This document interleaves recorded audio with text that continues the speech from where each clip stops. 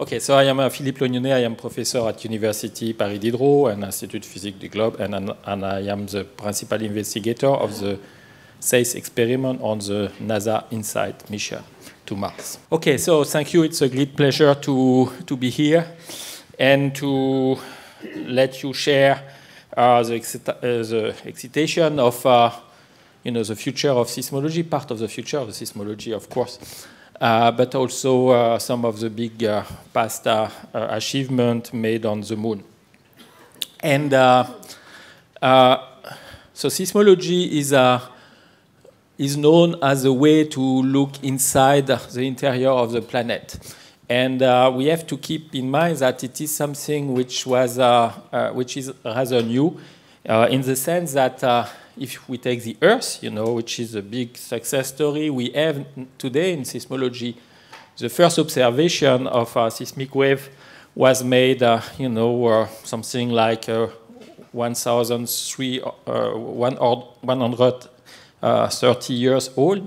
Uh, and uh, so this was a quake, by the way, in Japan, which was recorded in Potsdam. And it was recorded in Potsdam by an astronomer who, are, was developing a tiltmeter to stabilize a telescope. So it was, uh, it was not really a seismologist at that time, so it was an astronomer. But uh, I am very sorry that I don't think that Michel will discuss a lot on seismic wave on exoplanet. So we still to, to go there in order to catch the wave, uh, with some exception maybe. Okay, but what is very interesting is uh, very shortly after this first discovery of a quake, you know, a lot of discoveries were made on uh, wave uh, bouncing on uh, what we call today the MOHO, so the, the discontinuity between the crust and uh, the mantle, and you see this was done only 10 years after the discovery of the first quake. and then, you know, Mohovici gave the name of this discontinuity in 1910. And then Oldham in 1906 discovered the, the facts that very deep, 2,800 kilometer deep, we have liquid stuff so it was, uh, now we know that it is uh, iron, and this was a discovery of the outer core. Uh, and uh, finally, in 1936, uh, the last piece of the planet, the inner core, the solid inner core, was discovered by uh, Lehmann. So you see, it took 50 years to discover everything. Uh, we say, of course, now we go to the details. This is one of the issue of uh, science. You know, you start from nothing, you do the first step very rapidly, and after you work a lot to go to the detail. So these details now are such that we, we know more and more the structure of the Earth, and we are able to map inside the Earth the temperature anomalies, which are associated to uh, uh, the convection of the planet. We see plumes, we see the topography of the inner core, we see the topography of all the discontinuities, and of course this is done by a huge seismic network on the planet. So we have 20,000 stations, and all of them, you know, are uh, today uh, provide data you can get immediately on internet. So so therefore, now we have to go to, to the other planet. So of course, not with, with 20,000 stations. The first, therefore, the first second success story was on the moon. This was not a scientific proposal. Uh, for the mission InSight, I will show you later, you know, our final proposal was eight, 800 page, so it was a big uh, stuff. You know, so this is the moon proposal, Apollo proposal. You know, it is a one page. It's very simple, you know. Uh, uh, you can turn it, there is nothing, you know. Of course, the guy who made that, you know, is uh, Kennedy. So you have some, some uh, you know, power when you request such a mission. And he was very kind because he gave uh, three weeks to the guys, you know, to study the mission and this was made in uh, April uh, uh, 64. So you have five questions. You know, for us scientists, we put a lot of detail in scientific questions. You know, here the first one is, do we have a chance of beating the Soviet? Okay. the second question is, how much additional would it cost? The third question, are we working 24 hours a day and seven days a week? But this was obvious. Okay.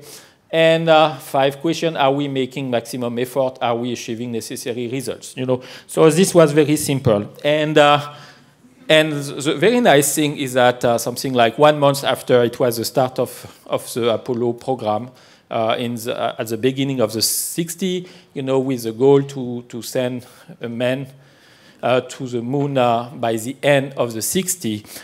And what is very interesting is that geophysics and geochemistry was immediately put inside the program.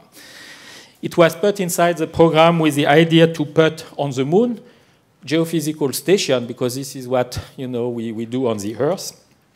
And here you have uh, this geophysical station, you know, uh, during training of, uh, oh, by the way, how to, to, to start this?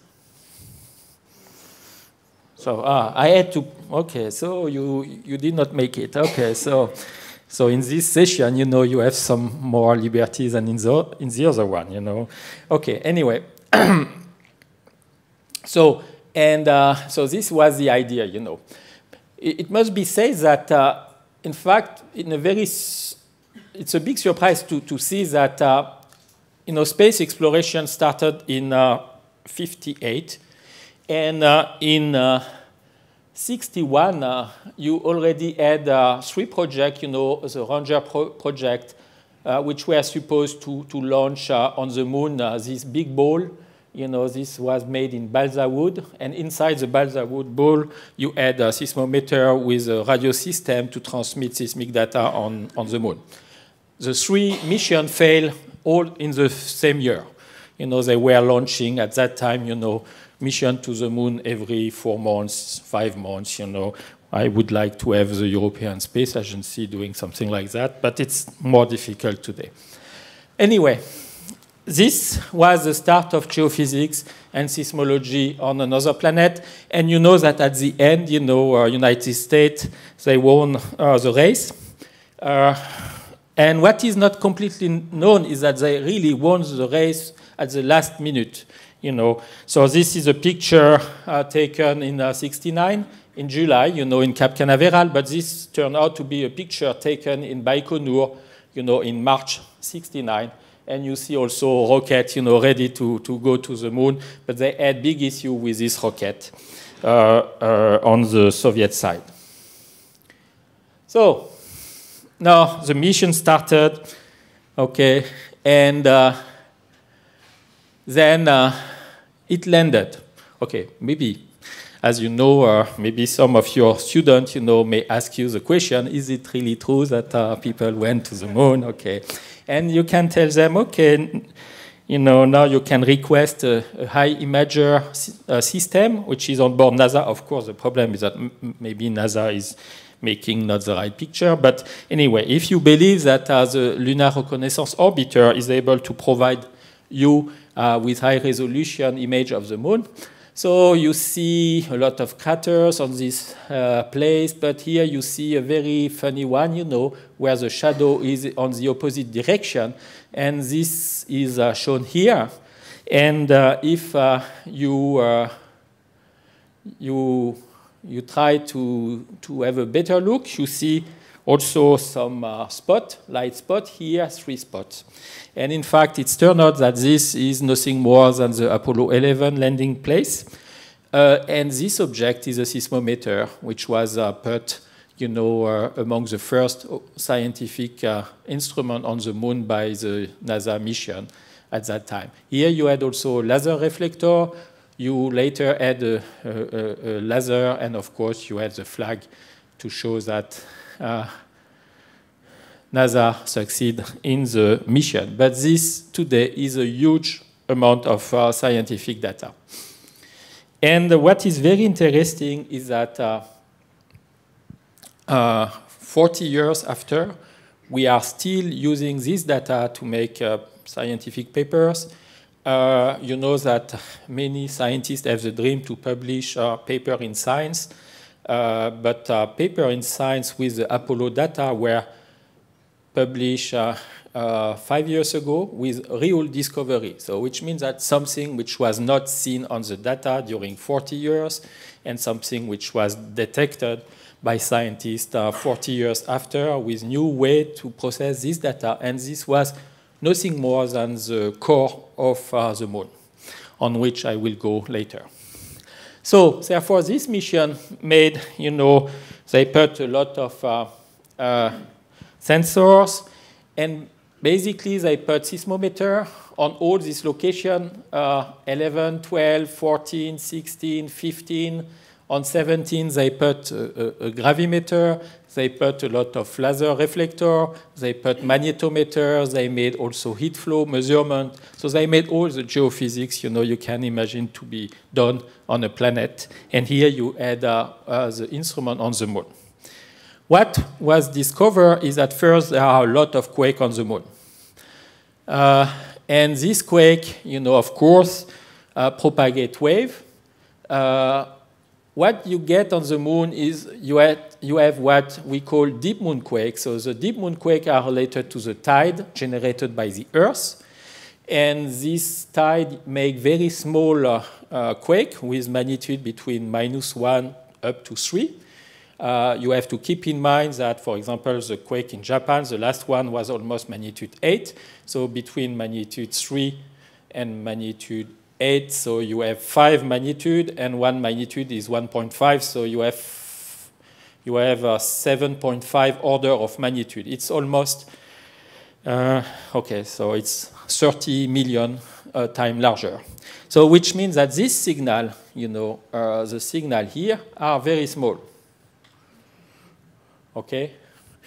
If not, you know, on the Earth it will be very big, much bigger than it is already so, and by the way, you know, this amplitude here is uh, 2 angstrom.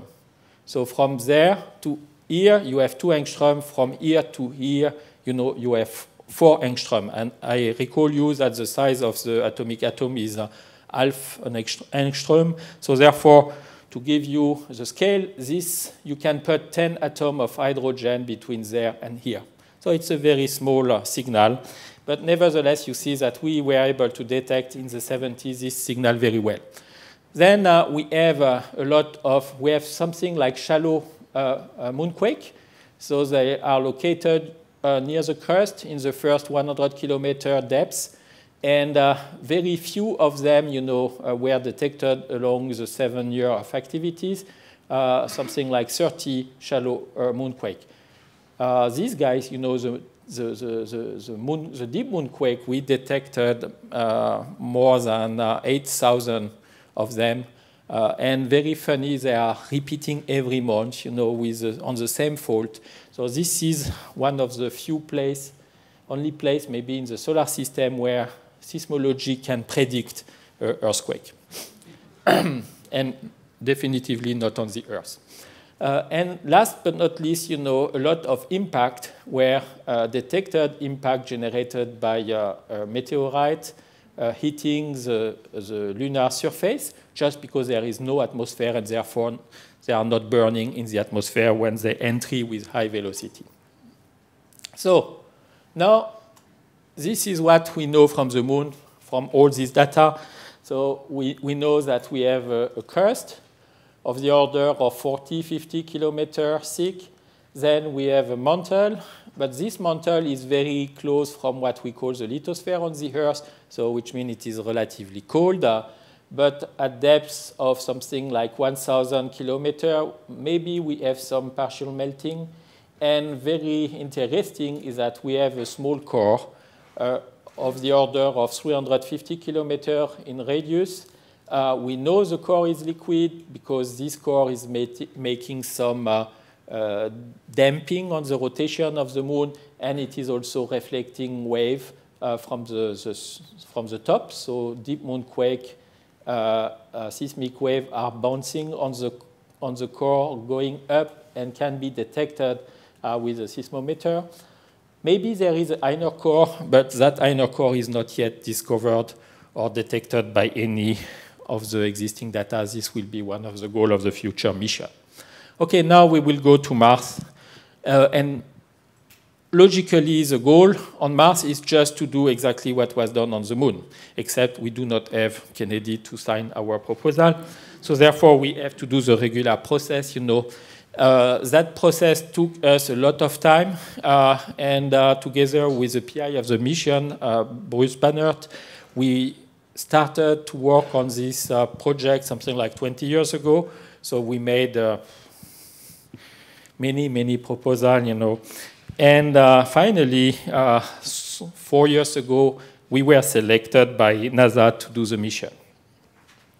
So this is another idea. Of course, when you see this, uh, you know, uh, nice story of space mission, you have the feeling that it is beautiful even when, you know, you run into trouble. But you really need to convince uh, your agencies uh, to do it. And you know, this is all the history of uh, seismologists uh, uh, who wanted to go to the moon.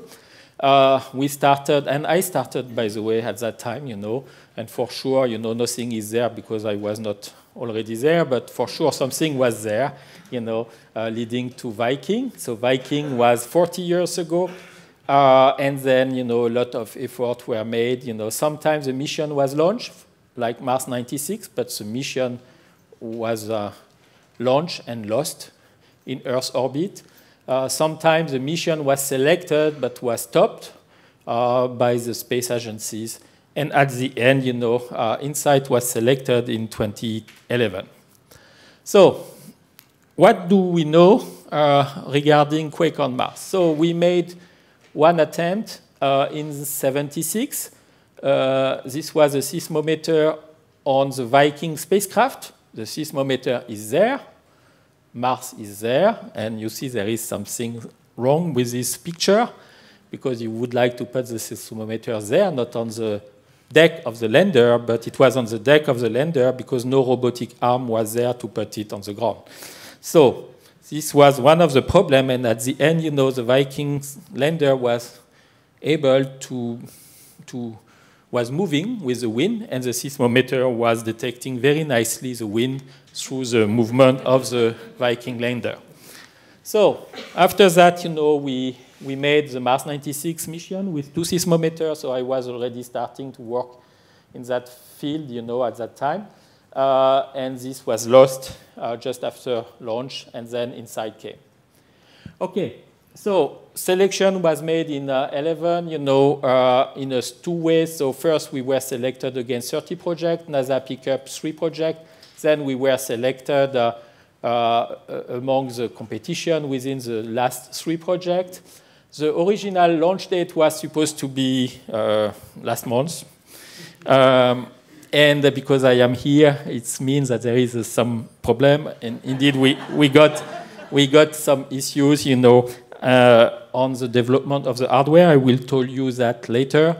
But uh, finally, we were uh, lucky enough to be, so our launch was canceled last December, and the launch was reconfirmed for, okay, uh, not March 9, of course. So this is a copy. The launch will be in May uh, 2018, but uh, March 9, 2016 was the date for the launch confirmation of 18. Okay, so it will be a very fast trajectory to Mars in 18. You know, something like six months uh, uh, uh launch from Vandenberg, arriving on Mars uh, in November, and then it will be one Martian year of operation. So the payload is very simple. It is nothing more than more or less what was made on the moon with Apollo. So we have a seismometer. We have a heat flow measurement, as on the moon. We have a magnetometer located there. We have a geodesy experiment. On the moon, it was a, a, a mirror on which you, you, you, um, you shoot uh, with a laser from the Earth. Of course, you cannot shoot uh, with a laser from Mars, uh, from the Earth to Mars. So we have we are using a radio system, but it's basically the same idea. Uh, and then we have an astronaut, so something uh, able to deploy our seismometer, and this is a deployment system, a robotic arm. So the goal of the mission is to deploy uh, instrument on the surface of the planet. And uh, so as you see, it is very easy. So this is what was done on the moon. If you can put the sound, please. No? Yes. Okay.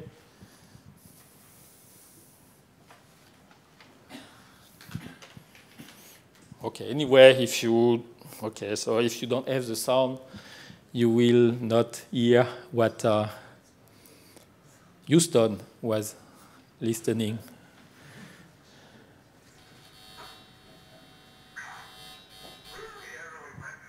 Okay, so okay, so you, you first need to pick up the instrument, you know, with a tool. And after, when you get it, you have to deploy it and to put it on the ground. It's very simple. Huh? Uh, but as you will see, it is not as simple as it looks. So we are still on the way to catch the instrument with a tool.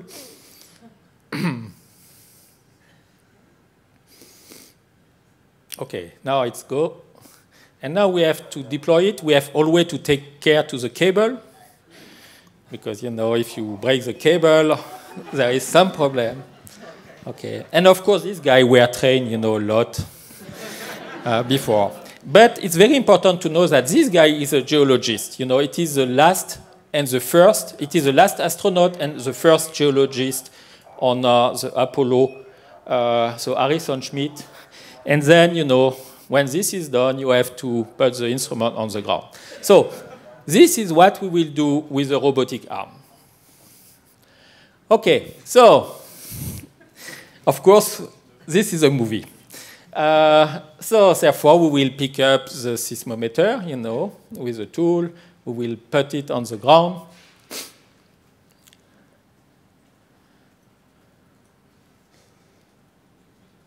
We have to take care of the cable, etc., etc. And after that, one of the big differences on, on Mars are you have wind, you have large temperature variation, so therefore we have to protect the seismometer on the Earth, this is something you do with a, you do with a seismic vault. On Mars, of course, you will do that with your own uh, uh, seismic vault, uh, which is on the deck. And you see, we will take it here, and we will put it on the ground in order to protect the instrument. So, because I have only uh, 30 minutes to finish, I will stop the movie here. Uh, okay, I was very lucky because this in the real life will take uh, one month. Because every time, you know, you have to prepare the, the command, you have to check it, you have to make picture, etc., etc. And you have meetings where you will review all the command, you will have to decide on the, on the way to proceed. Uh, and at the end, this will be our uh, time uh, at uh, JPL in Pasadena from uh, November until the end of uh, the year in, in 18.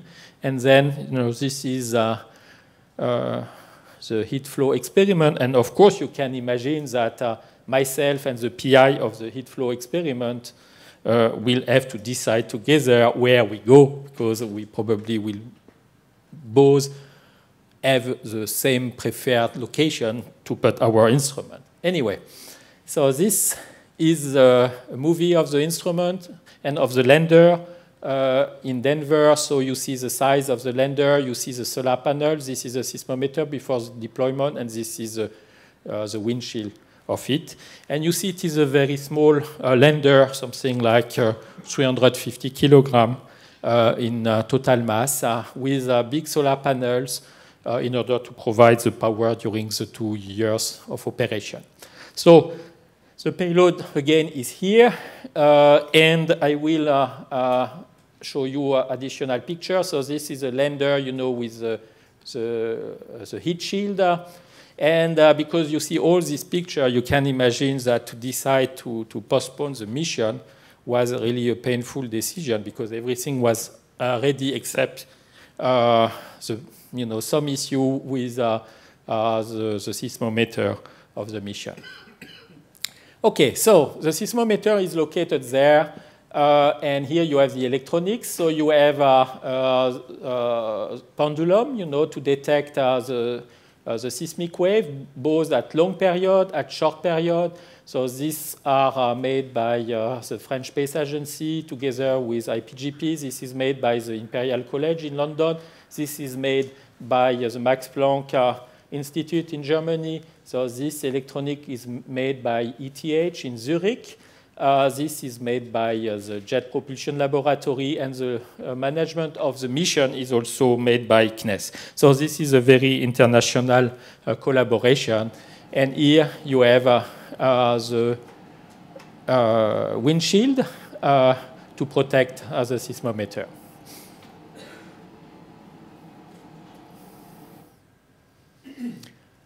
Okay, so here you have details of the pendulum.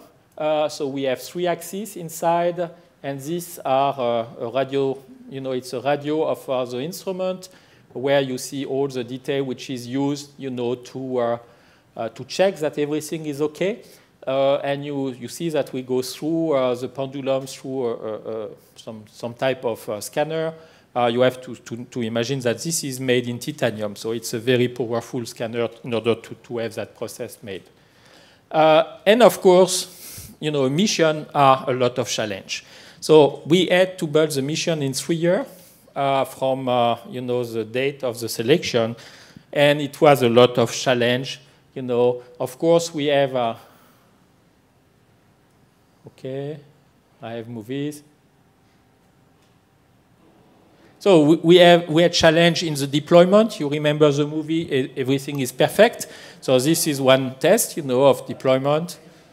And you will see that uh, here we have some issue uh, with, uh, you know, a scratch here, Velcro, in fact.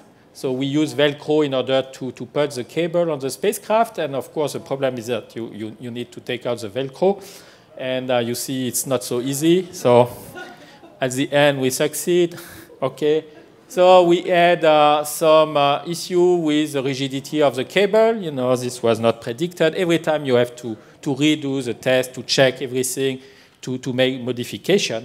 And at the end, uh, we had uh, uh, an issue with a leak on uh, the VBB sphere. And this was for us the reason for the, the, launch cancellation and then launch, launch Uh, slip to 18. So why? We had this issue. The big problem is that we go on a planet where we have very large temperature variation. So, and uh, in order to protect the instrument from this temperature variation, we need to have the seismometer in vacuum. So therefore, we put the seismometer in a sphere, you know, and we add at the end small leak uh, and the big problem is that what we know is that when we have this leak, you know, we lose a lot uh, the thermal properties, the thermal protection of the of the instrument.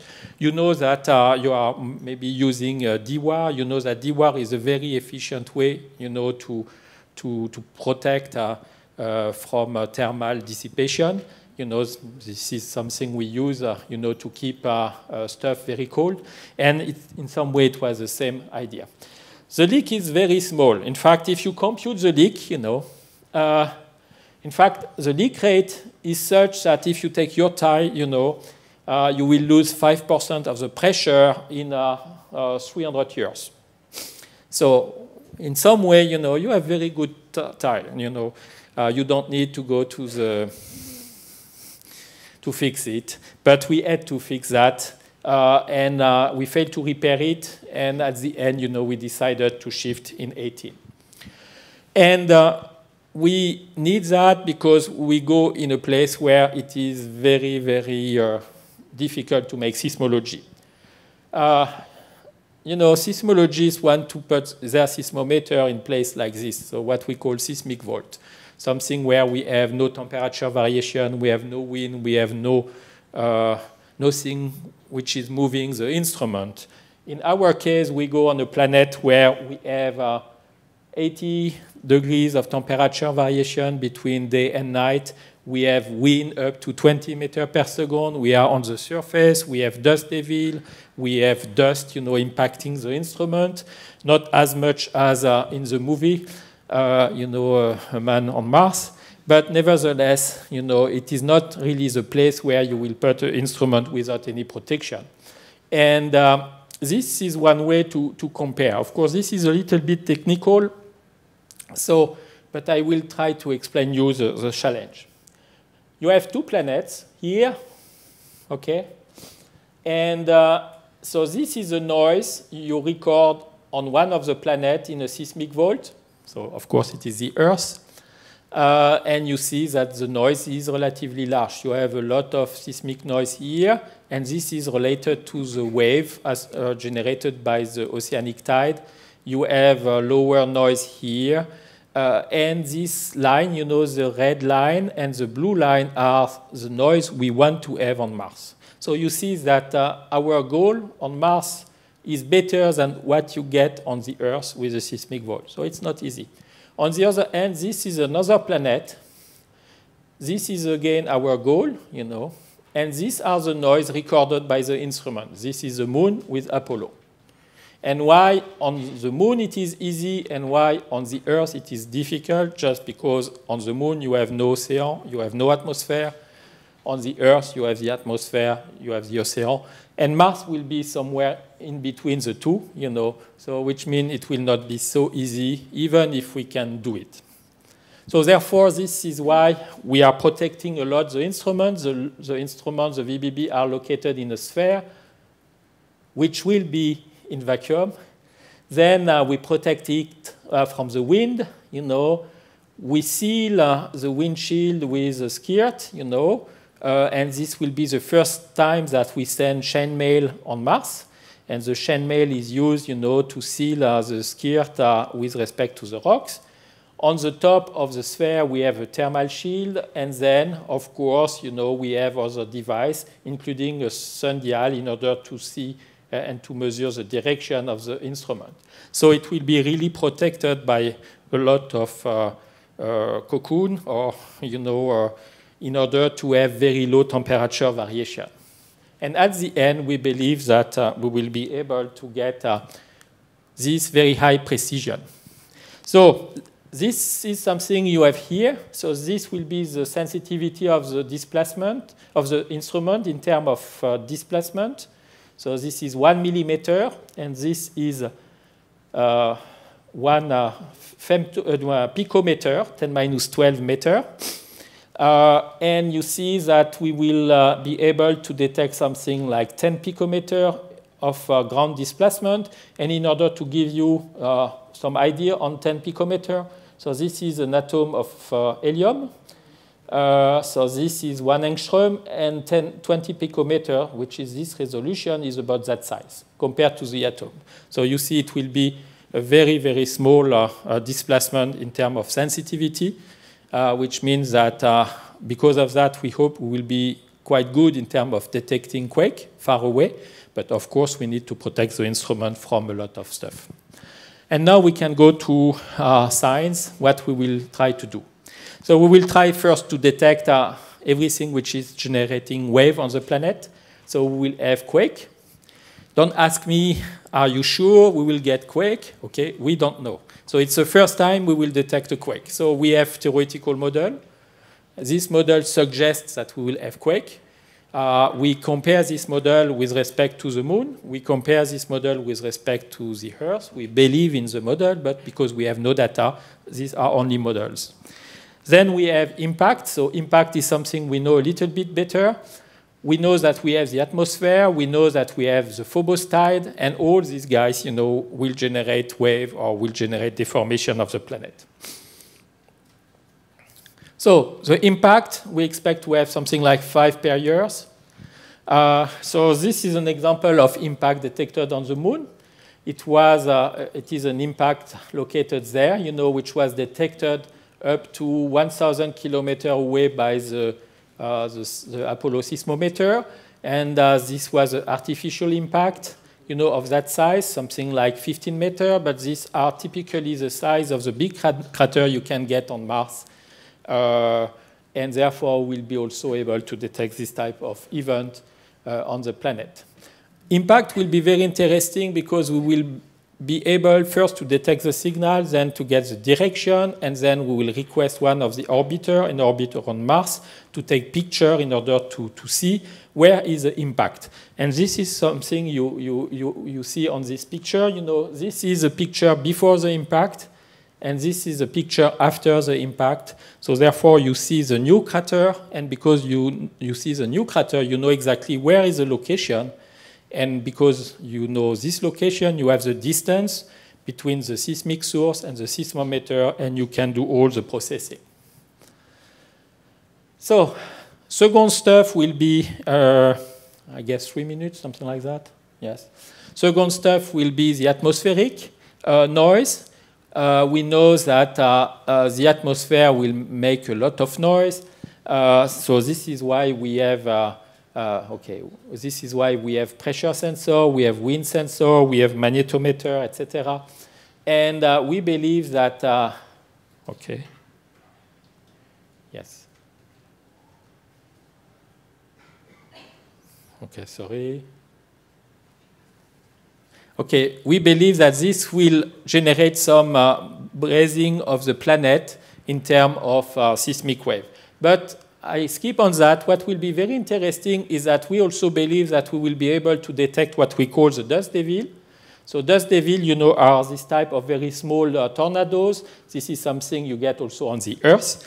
And it's turned out that these dust devil are, again, you know, something like a seismic source. They generate a wave, and this wave travel, you know, on the planet. This was detected on the Earth. We are able to detect them, to use them in, in order to get information on the ground.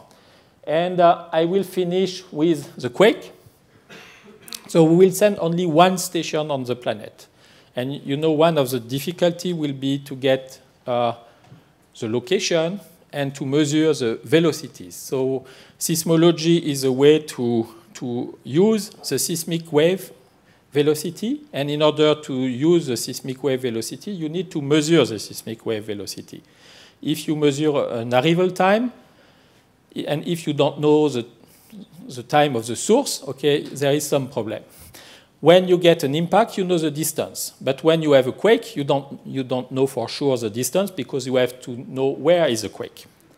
And uh, the idea uh, will be to use a wave turning around the planet. So if we have a quake, you know, we'll get a first wave, you know, uh, coming from this location, reaching the station.